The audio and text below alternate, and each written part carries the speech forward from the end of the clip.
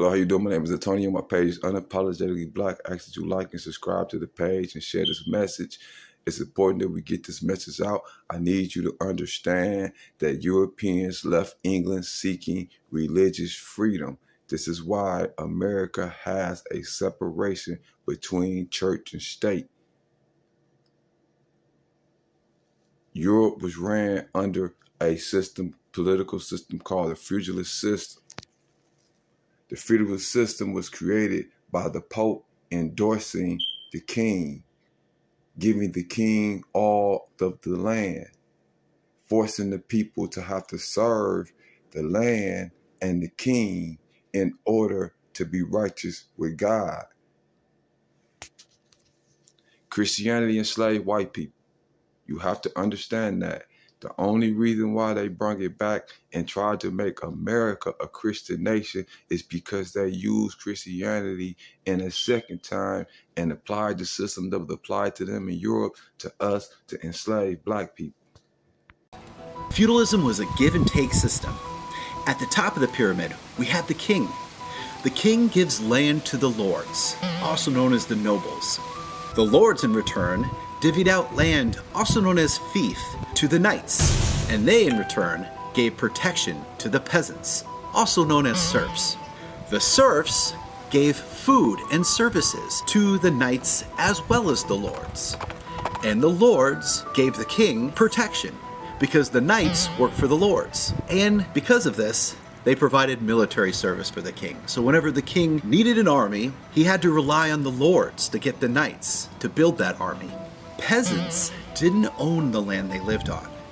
They rented it from their landlord. They and their neighbors shared a plow between them, and they combined their oxen into teams to till the soil together. There's not much social mobility either. Their parents and grandparents worked this same land. They didn't even have the legal right to leave the property without the permission from their lord. They were unfree laborers mere serfs in a feudal economy.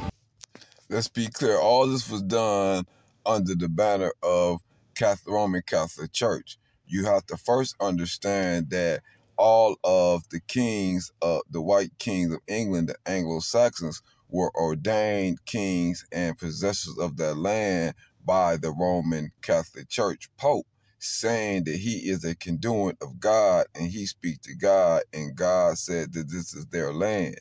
This is why the Queen of England owns all the land in England and they can only lease it for up to 99 years.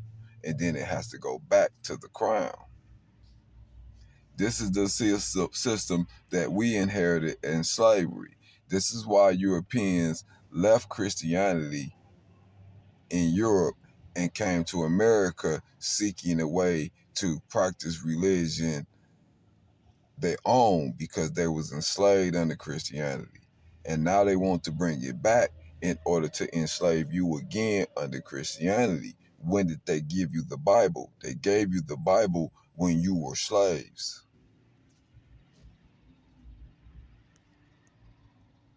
Travel back to the year 1500, we'd see every kingdom across Western Europe declaring their allegiance to the Catholic Church. And if you were to say that some nations were to break away from that church, Honestly, it wouldn't be the most shocking thing in the world. There was mass corruption, heaps of power placed into the hands of one person, the Pope, and many priests had little to no education or training. And so when someone like Luther came on the scene, much of the clergy were no match for him in debating what the Bible actually said. The Catholic Church was empowered by the ignorance of the people. So you was not allowed to have the Bible in your own language at the time. Only the Pope really had full access to the Bible. That's why when somebody like Martin Luther King came along, who was promoting you have the Bible in your own language, clergymen could not debate with him or challenge him on what within the Bible because not even the clergy knew what within the Bible. They only knew to pass down what was told to them from the Pope. You have to understand that they was forced into ignorance in order so that they could be easily controlled the same way that America did with black people, banning us and not allowing us to read and be educated in order for them to be able to enslave you.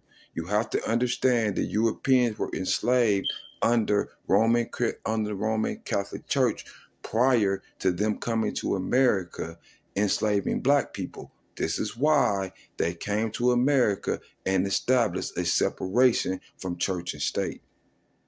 But if you were to put all your money on one kingdom who would not break away under any circumstances, you'd bet your life savings on England. Now ask yourself, how was the king empowered to be able to divvy out the land if he needed protection? The king was empowered to give you out the land is because his power was in power enthroned by him by the Pope. The Pope policies and their teachings taught that the king would be the head of the church in that area under the Pope. And that God ordained him and his family to have that land.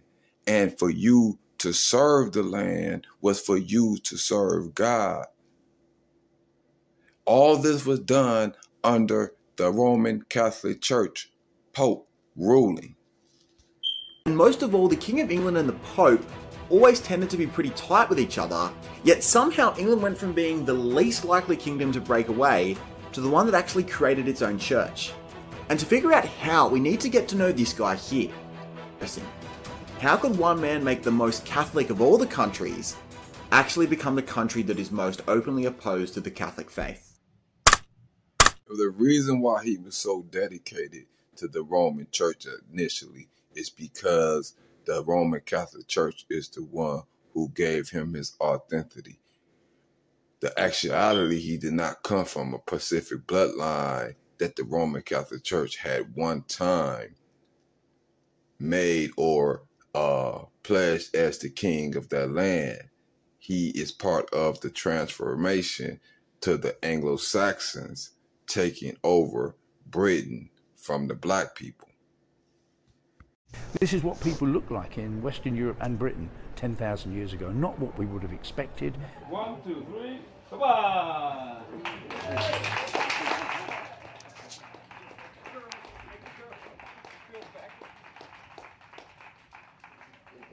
museums, reconstructions, they look a bit like this guy has a, a spark to him I'm Chris Stringer. I'm a research leader in human origins at the Natural History Museum in London. And I'm holding here this wonderful reconstructed head of Cheddar Man. And I've been studying the skeleton of Cheddar Man for some 40 years or so. And now with DNA technology, we've got the whole genome of Cheddar Man. And here we've got a scientific reconstruction of what he looked like.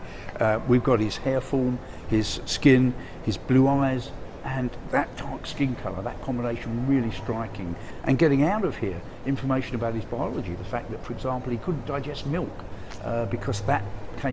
Most black people are lactose intolerant. Most people of African descent is lactose intolerant. There is small tribes that are uh, exempt to that. In with the advent of farming after the time of Cheddar Man. So we're getting his whole biology, how he relates to people in Europe at the time, and how he relates to people in Britain now. Having blue eyes is not limited to Asians or Europeans. Black Africans can also have blue eyes and claims that photos of Africans with blue eyes on social media and other internet platforms are fake are incorrect. There are Africans who, by virtue of the genetic packages received from both or either parent, as well as the concentration of melanin in their eye region, have eye colors outside of the statistical norm, making them rare within the context of the African community. But this is neither a mere coincidence nor a mistake as Africa is home to the first known human from whose genetic endowments all other physical human traits in the world have been biologically derived. We have to understand when Rome invaded Britain, it was blacks in Britain. I want us to understand who are the Anglo-Saxons and how did they take control of Britain. And you will understand that that was done with the fall of the Roman Empire as a military might and rose again as a uh, as the Roman Catholic Church. So young Henry was born in 1491 when his father, Henry VII, was sitting on the throne. Now, this is really important. Henry VII didn't become the king with ease. His claim to the throne was really weak. Basically, he had an uncle who was the lover of the queen after her husband died, and he claimed his lineage from the queen's lover, Jasper Tudor. Not exactly someone who came from a long line of previous kings. And so Henry VII became the king by successfully challenging Richard III, then defeating him on the battlefield in 1485. And if Henry VII didn't have a long list of fathers and grandfathers who were kings, he needed to find another way of being seen as the right king. And so Henry VII and the Pope became very tight, and the Pope gave God's blessing, so to speak, upon Henry VII. I want you to be able to see the bloodline switch that was done with the Catholic Church. You can see that this Harry was not directly related to who originally had that throne. This is why you hear black people say originally at one time there was kings in medieval Europe you can see how the Roman Catholic Church transferred that authority over to the Anglo Saxons. But you have to know your history and understand what really happened. Supposed to replace his father as the king because he was actually the second born son to his brother Arthur.